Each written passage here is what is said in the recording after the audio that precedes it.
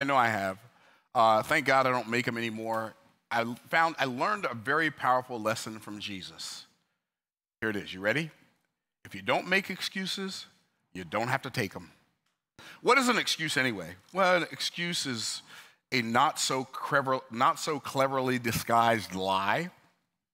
What is an excuse? A bunch of words that you think other people will believe is a reason. That's an excuse. Um, but the reality is, an excuse is really nothing. It's nothing. It doesn't matter. Nobody cares. If you tell somebody you're going to do something and you don't do it, they don't care why you didn't do it. They only know that you didn't. Did I say that too fast? And I am telling you, your willingness to make excuses is robbing you of opportunities. In fact, it might even be destroying your life. Your willingness to accept excuses, I believe, is predicated on the fact that you're accepting somebody else's excuse as a down payment on an excuse you plan to make in the future. So let's just stop it. I'm going to read something to you from the book of Genesis, and we're going to talk about a bunch of Bible stories where people made excuses. And we're going to stop making excuses. See, here's the thing about an excuse it doesn't do anything except deceive you and irritate everybody you gave it to. I know I said that too fast, didn't I? like it deceives you. You like you think you did something. You thought you thought you said something. And then the person you said it to, I knew I couldn't count on them.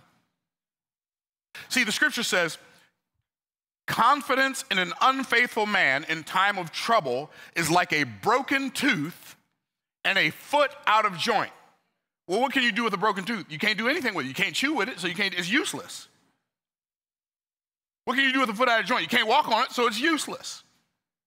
And a person that's full of excuses, always making excuses, is pretty much useless, and all you're doing is letting folks know I'm a useless person. Y'all didn't know I was gonna come out swinging today, did you? I missed jujitsu practice last night, so here we go. I, am not, I'm not really, I'm not, I'm not really in jujitsu. I'm just kidding. So, Genesis chapter 3, we're to find the first excuses in the Bible.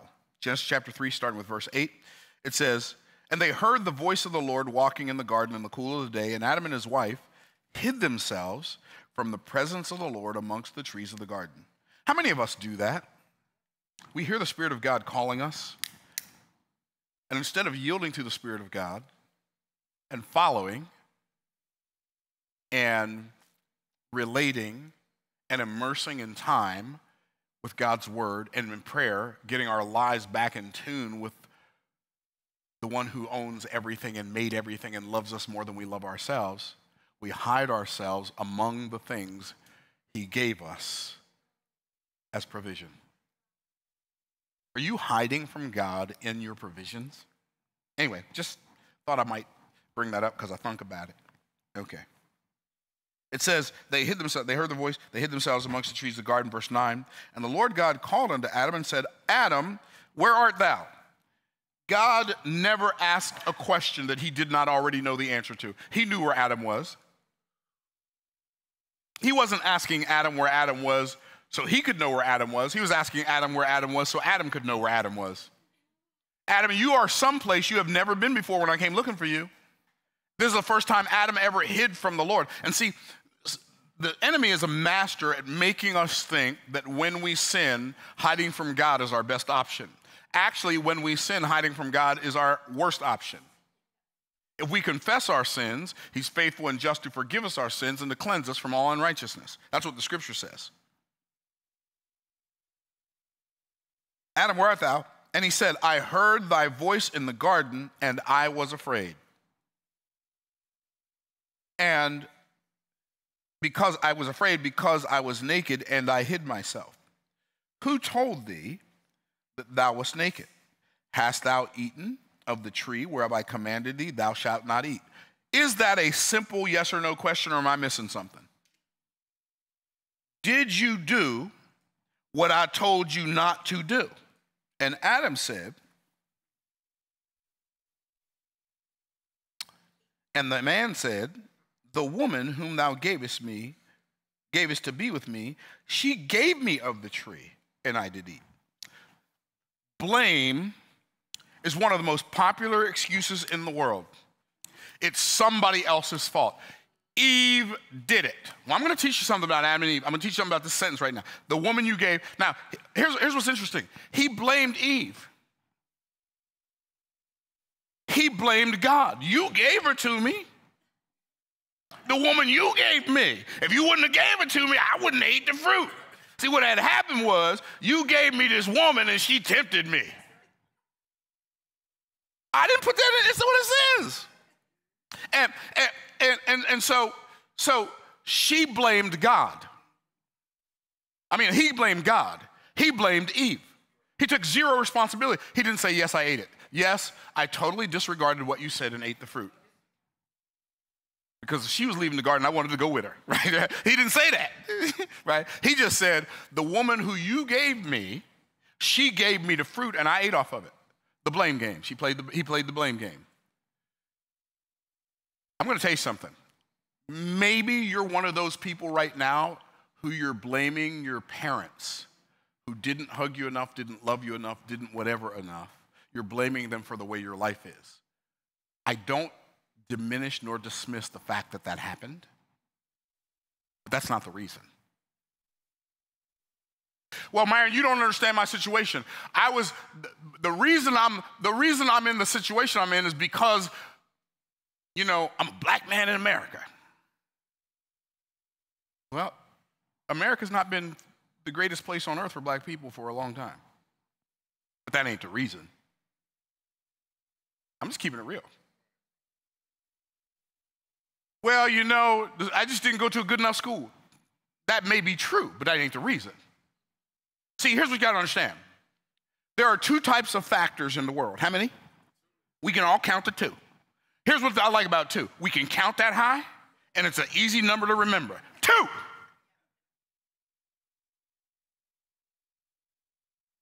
There are two types of factors.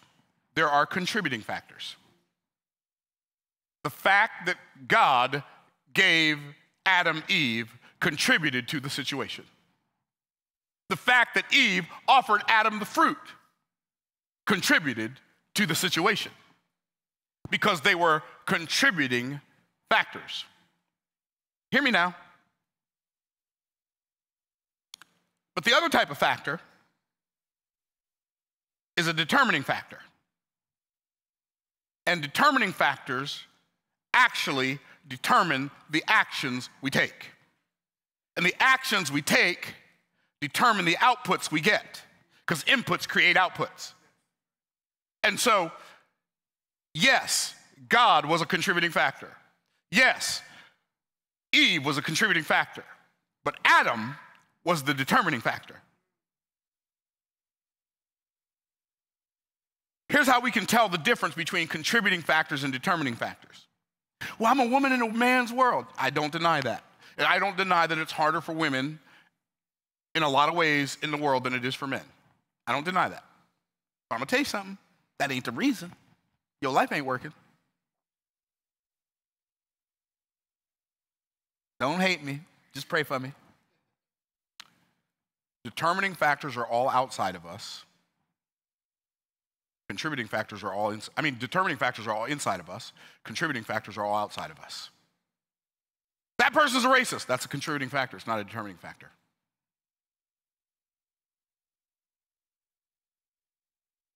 I'm a woman in a, man's world. That's a contributing factor, not a determining factor. Hey, I, one of the reasons I talk about one of the reasons I talk about so-called racism, which is such a goofy term, racism is a goofy term. Like he's a racist, she's a racist, they're a racist, he's a racist. It's, it, it is what it is. You have to you have to have a word for it. So I guess that's one of the words that you could use. You could you could use prejudice, you could use bigoted, but then now they've conflated the meaning of those words. When you disagree with somebody, now you're a bigot, right? So we live in such a confusing world unless you know the truth. And the world's not confusing, then you just recognize that they're confused, right? Anyway, nobody, uh, you, you'll, you'll, you'll, you'll have to travel a long way to find somebody who's been as negatively impacted by the disadvantage that black people have in America more than me. Like, I've been negatively affected and impacted every day of my life by segregation. You say segregation's over. Okay, fine. But before it was over, I was born in a segregated hospital. Six years after the polio vaccine was discovered. But that hospital didn't have the polio vaccine. My whole left leg shriveled up to almost nothing because I didn't get the care because my skin color was the wrong color for America in those days. Guess what that is? A contributing factor, not a determining factor. What? Yeah, yeah, yeah. I had teachers that didn't like me. But, you know, the feeling was mutual. But that was a contributing factor, not a determining factor.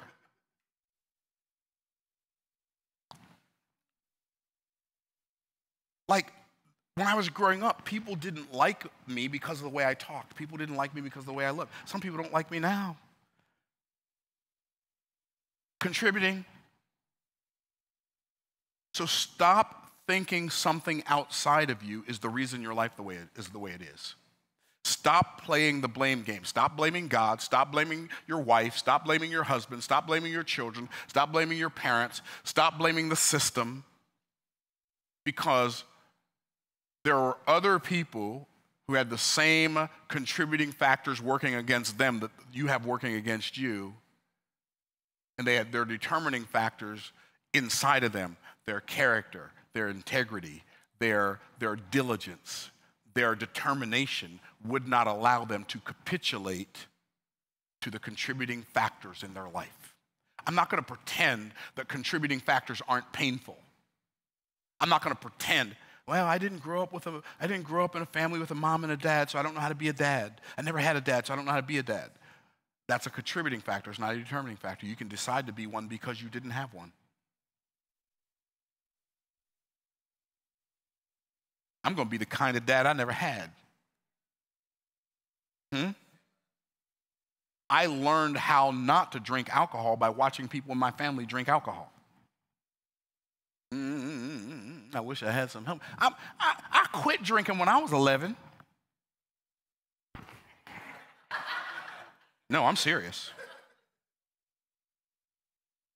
I could have allowed, I could have blamed alcohol. I could have, I could have blamed the fact that I had polio, I got a brace on my leg, I can't get a job, you know, so I can just, I, I can just depend on society. And what I'm gonna do is I'm gonna just get drunk every day and drown my, myself in misery.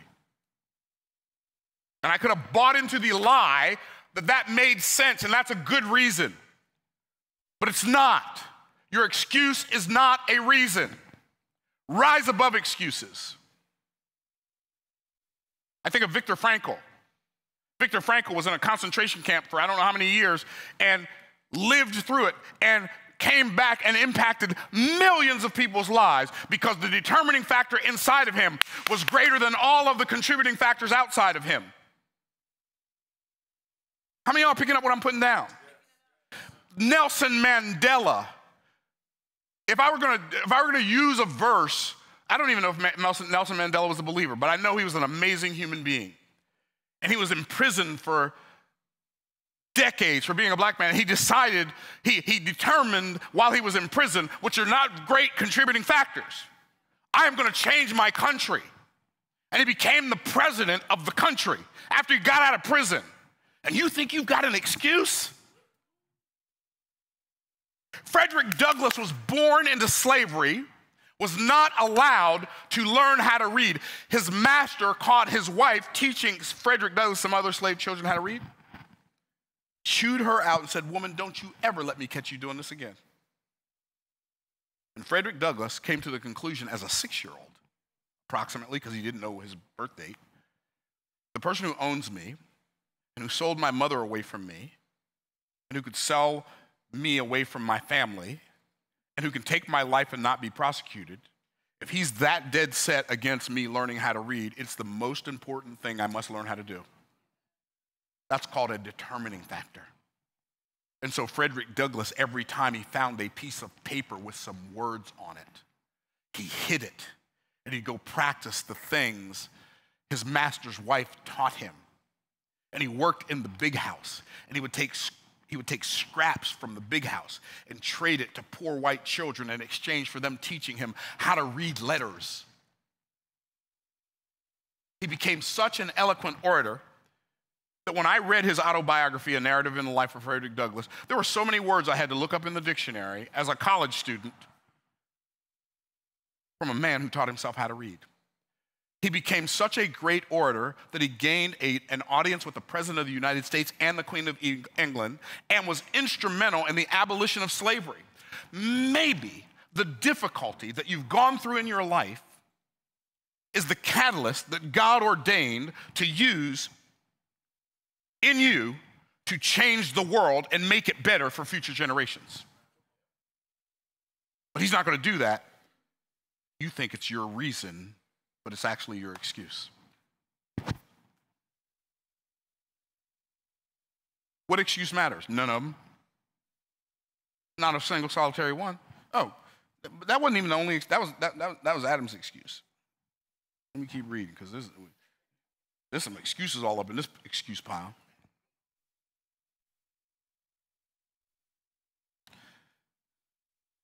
Uh, and the man said, um, and the man said, The woman who, verse 12, the woman who thou gavest to be with me, she gave me the tree, and I did eat. And the Lord God said unto the woman, What is this that thou had done, hast done? She said, Well, the woman said, The serpent beguiled me, and I did eat. She ain't wrong. He beguiled her, but that ain't the reason. You know why Eve ate the fruit? Because she wanted to. You know why Adam ate it? Because he wanted to. See, the scripture tells us clearly in James chapter 1 God cannot be tempted with evil, neither tempteth he any man, but every man is tempted when he's drawn away of his own lust. That means if it ain't inside you, when it tempts you outside, it ain't gonna find no place in you. Somebody can offer me a cigarette all day long. There's no universe in which I am tempted to smoke a cigarette because I hate it. I hate the smell of it. Somebody can offer me, oh, would you like, would you like to go out and get drunk with us? No. It's not even, it's, it's, it's an outside temptation, it's an external temptation. But here's where the trouble comes when the external temptation matches the internal temptation up in here, that's when we got trouble. Now, somebody pushes me on the wrong day in the wrong way. I don't know. That um, there might still be a little bit of that up in here, up in here.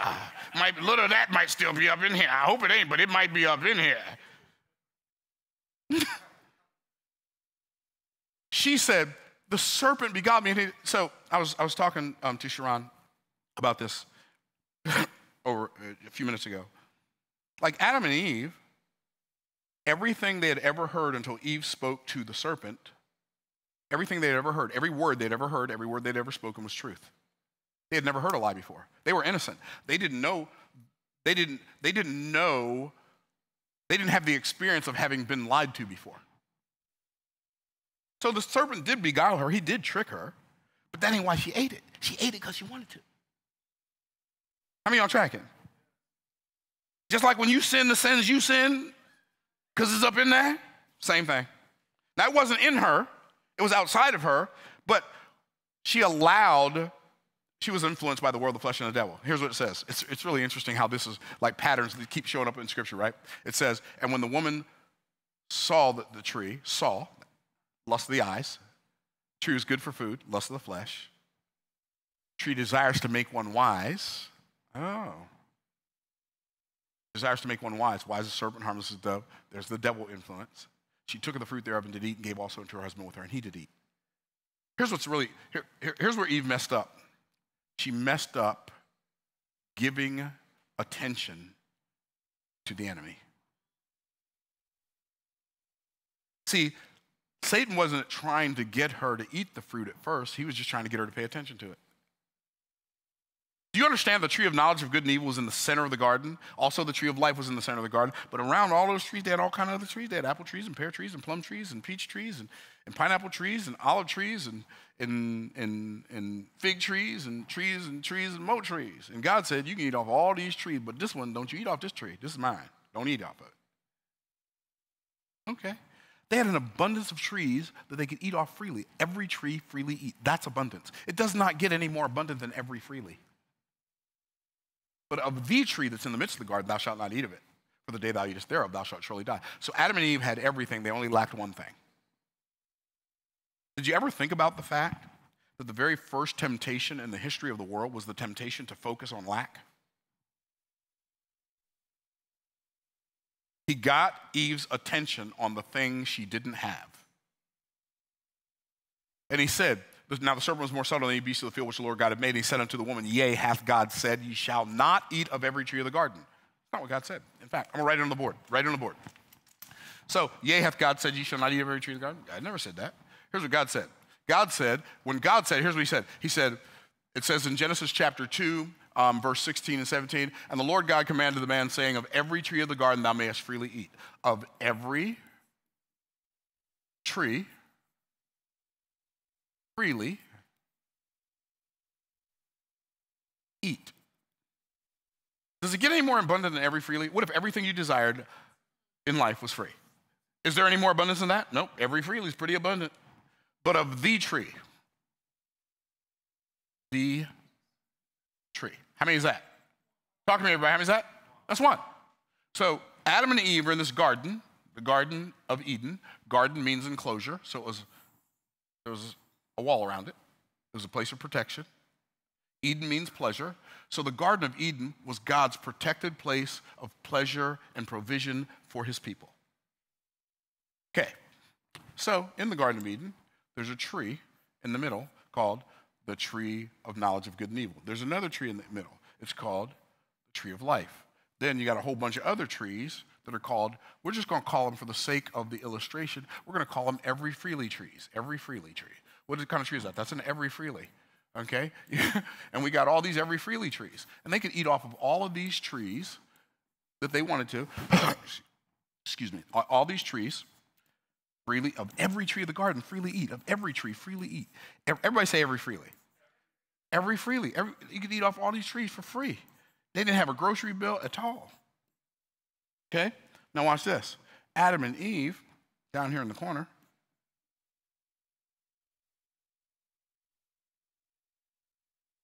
Here's what they had to do. In order for adam and eve to get to the thing they lacked they had to walk past and ignore all of the abundance that they had get to the thing they lacked. What caused them to do that? They were focused on it. The servant said to the, unto the woman, um, Yea, if God said, You shall not eat of every tree of the garden. The woman said, We may eat of the fruit of the trees of the garden, but of the tree that's in the midst of the garden, God has said, Don't eat of it, neither shall you touch it unless you die. God never said, Don't touch it. See, Eve made the same mistake. You make the same mistake I make. She thought she could use willpower to do the right thing. Willpower doesn't work. Hmm. Your flesh is not going to help you conquer your flesh. How many y'all tracking? And so, so she said, Neither shall you touch it. She said, If I don't touch it, I'm not going to eat it. Satan knew he didn't have to get her to touch it. He just had to get her to pay attention to it. Why? Where attention goes, intention follows. So if you pay attention to something long enough, you will set your intention on that thing. Y'all tracking? And so, so the woman, um, the woman said, "We may eat the fruit of the trees of the garden, but of the tree that's in the midst of the garden." I'm going back to my seat now, y'all. So for somebody with the camera, the tree that's in the midst of the garden, God has said, um, "You shall not eat of it." For the day thou eatest thereof, thou shalt surely die. The serpent said, Ye shall not surely die. He's directly contradicting God's word. And then he says, for God doth know that in the day you eat thereof, your eyes will be open and you will be as gods, knowing good and evil. Here's what Satan said. Here's how he tricked her. He said, If you will focus on lack instead of focusing on abundance, you will be more like God.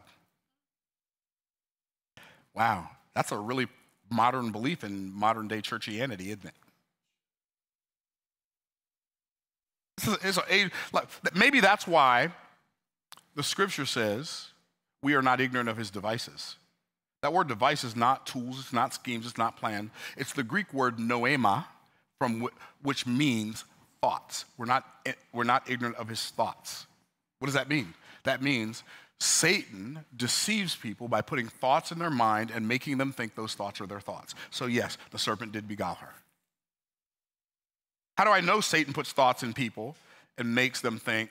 Because the scripture says that Satan stood up against Israel and provoked David to number Israel. David thought that was his idea. Huh. The scripture says in the book of John, I think it's John chapter 13, um, it says, it says, the devil now having put it in the heart of Judas Iscariot, Simon's son, to betray him. Judas thought that was his idea. Ananias and Sapphira sold the land, gave part of the money, said they gave all of it. Peter said to Ananias and Sapphira, Why has Satan filled thine heart to lie to the Holy Ghost? Ananias and Sapphira thought that was their idea. One of the things we better get good at is recognizing when a thought comes from Satan because all thoughts don't originate from God and they don't all originate from you. The serpent beguiled me and I did eat. He did beguile you, but that was a contributing factor. That was not the determining factor. The determining factor was you wanted to eat it. Real talk. How about Saul? All dark and handsome? He was. The scripture says he was head and shoulders above all of Israel. That means the second tallest person in Israel came up to Saul's shoulders. what? That's a tall joker. Okay, cool. God made him king over Israel. God told him, here's what I want you to do. In 1 Samuel chapter 15, go wipe out the Amalekites. Here's what he said. And this, some of y'all ain't gonna like this because y'all think God is only love. One of the reasons his love is so strong is because his hate is so strong. Anyway, I'm just saying. Because without hate, love has no meaning. Okay, I'm just, I know. Eh, eh, eh, it don't sound good. God don't. Anyway. Um, so, so, God said, wipe out the Amalekites. Now, this, this doesn't make sense to us in our Western society, but here's what he said I want you to kill every man, every woman, every child, every suckling, every animal. What? Wipe them out. Here's what it says Saul did Saul killed, slew the Amalekites, but he kept Agag, the king of the Amalekites, alive and kept all the best cattle. All the things that were like diseased and sick, he killed all those, but he kept all the good stuff for himself. Saul, I mean, Samuel came to Saul and said, What have you done? He said, Blessed be the Lord, I've kept the commandment. Quit. Why do I hear these ox? The, what's this moo moo, ba ba? I keep hearing. He said, Oh, the people wanted to keep the best stuff.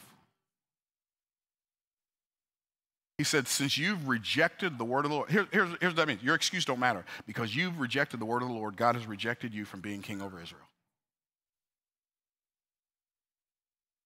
I'm telling you, your excuses are ruining your life. And see, here's what happens. Here's the, here's the problem with your excuse. Here's a big problem. When you make an excuse and somebody accepts, you, accepts it, or they tell you they accept it because they didn't really accept it, they tell you they, they accept it, they're making you believe life works a way that it cannot work. They're letting you get, they're letting you think you can get away with not being a person of your word. Is that too tough? Yeah, but that's what they're doing. They're like, they're, they're, oh, that's okay. That's okay. We all have, okay, cool. But watch this now. Watch this now. You're going to do it again and again and again and again, and eventually you did it too much. Yeah, but you don't understand how hard I'm trying. How hard I'm trying is nothing more than like propping up a future excuse you plan to make. There's no such thing as trying, there's do and don't do. What does that even mean? You know what it means? Nothing. Hmm.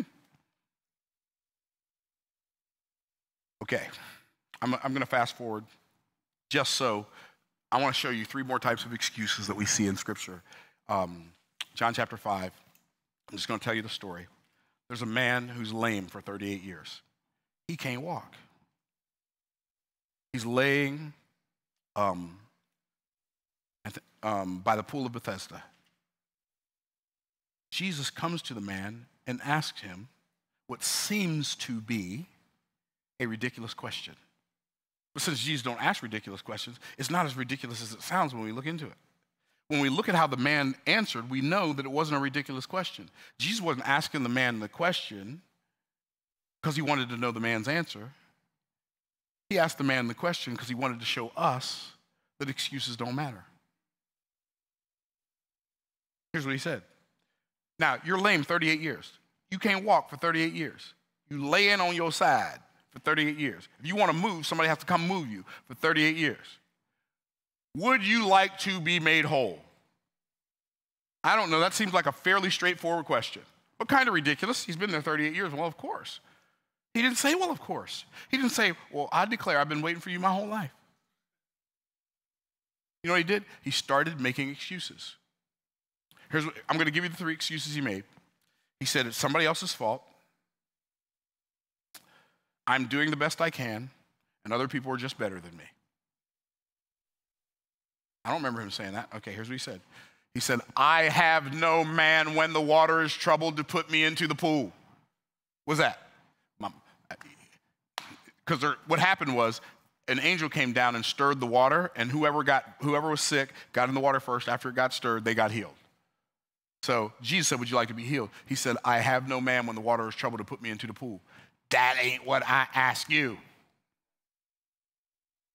You think, but the poor guy's been laying there for 38 years, and every time the pool got stirred, his family had gone on lunch break or something, coffee break. They wasn't there. It's mama's fault, it's daddy's fault, it's brother's fault, it's sister's fault, my friend's fault. I don't have anybody who will help me do it. So therefore, that's why I, I'm still here. That ain't what I ask you. Would you like to be whole? Well, while I'm coming, when the water gets troubled, I start moving toward the water best I can, and I'm crawling, I'm dragging myself. I'm doing the best I can. That is not what I ask you. I like what Jim Rohn used to say. How many sales calls did you do today? And they'd say, Well, what happened was he said, No, no, no, no, no. I don't need a story. I need a number. The reason we make the space so small is so a story won't fit. We need a number. We need a number.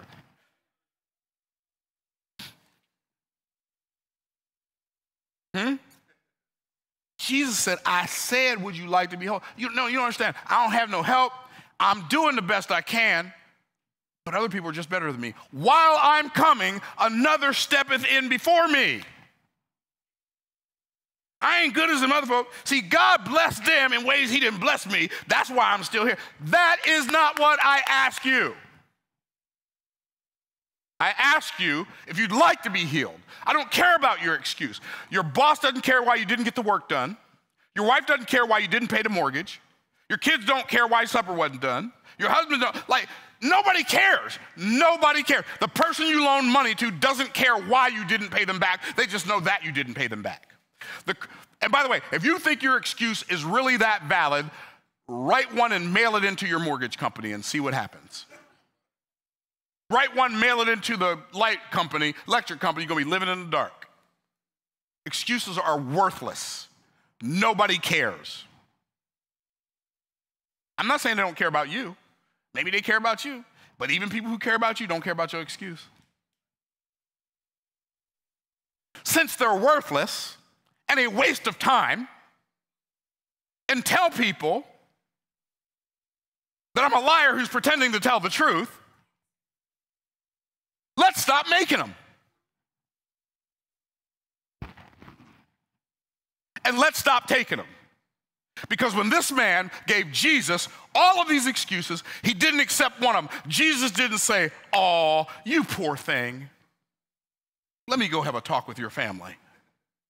They should have been here when the water got troubled. Well, I guess I should have given you more ability. You're, you're right, you're not as good as other people. No, he didn't say that. Here's what he said Rise. Get up. Take up your bed and walk. It is time for you to start carrying what's been carrying you. Mm-hmm, I wish I had some helping hand. Like we've been laying on our bed of excuses thinking people care. They don't care. Hey, I get it. Stuff comes up. I get it. Stuff comes up for all of us. But from now on, if you want to turn an excuse into a reason, if you want to turn it into a reason, At least tell the person you're giving it to how you plan to fix it and when. I don't know. That seems to make sense, doesn't it? Not, yeah, well, um, I, I told you I was going to be there and I couldn't make it, but um, I should have called you and told. Yeah, you should have. Because faithfulness and an, I mean confidence in an unfaithful man in time of trouble is like a broken tooth and foot at joint. Jesus said, "Rise, take up your bed, and walk." It is time that we, as followers of Christ, stop making excuses for not practically applying the Word of God to our lives. We take up the sick bed of excuses that we've been making and we walk in the ways of life. Your excuses are destroying your life. Somebody who was going to do a business deal with you won't do it now because you didn't keep your word. But you don't know what I've been going through. Yeah, but you don't know how much I don't care. I care about you, and I care about what you've been going through. I don't care that that's why you didn't do what you didn't what you said you were going to do. I don't care. Whatever your reason is, nobody cares. People will pretend to care. Uh, you know what I'm doing? I'm giving you the faithful wounds of a friend. I'm telling you what other people are thinking. Because they ain't to tell you because they want you to feel good, even if it harms you. I want to tell you the truth, even if it hurts you. Nobody cares. It's not that they don't care about you. I love people. I love everybody in my family. I love all my friends. I love, I just love people. I love people till they give me a reason not to.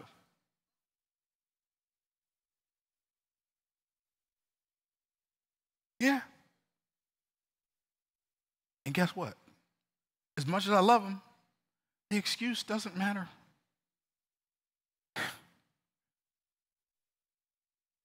All I'm saying is this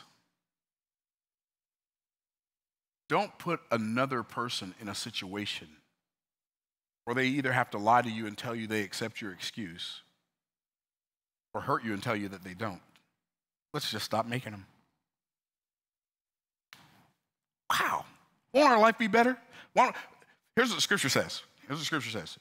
Who, who, shall, who shall stand in thy holy hill? Who shall dwell in thy tabernacle? Who shall stand in thy holy hill? He that walketh uprightly and speak and work. Um, I should read it. It's, uh, Psalms 15. But here's one of the things it says He that sweareth to his own hurt and changeth not.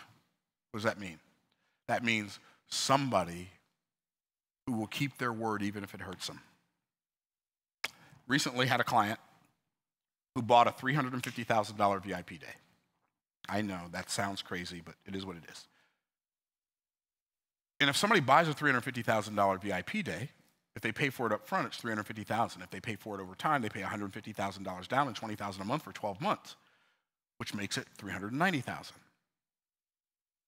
So you pay 40,000 less if you pay it up front. Okay, cool.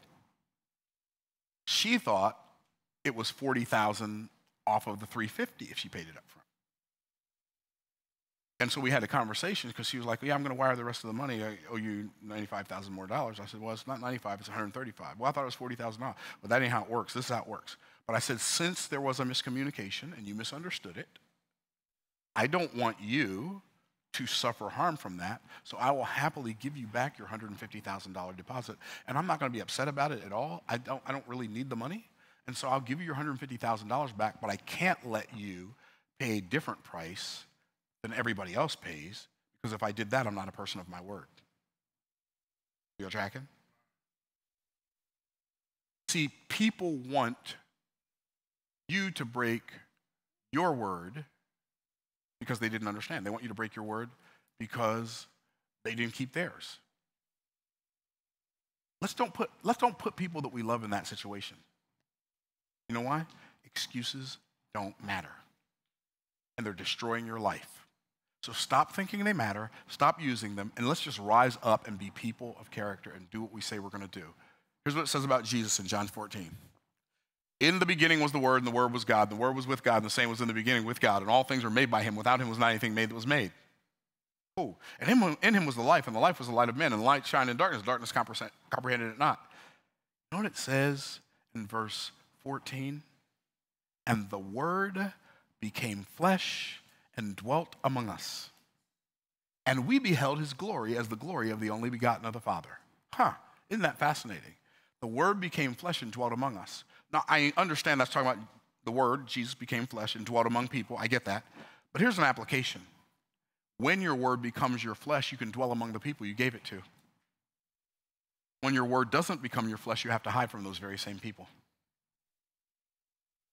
Maybe people don't behold your glory because they don't believe your story, because your word has not become your flesh.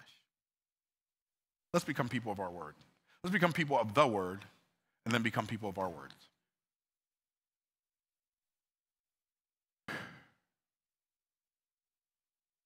Maybe Billy Joel was right. Honesty, it's such a lonely word. Everyone is so untrue. Let's stop making excuses. It'll make your life better, I promise. It'll make your life better exponentially in a very short period of time. You know why? Because people will know they can count on you. When that happens, game over. Stay blessed by the best, my people. If it makes sense to you, you can subscribe. If it doesn't, please don't. Um, I love y'all. Look forward to seeing y'all next Wednesday. Bye for now.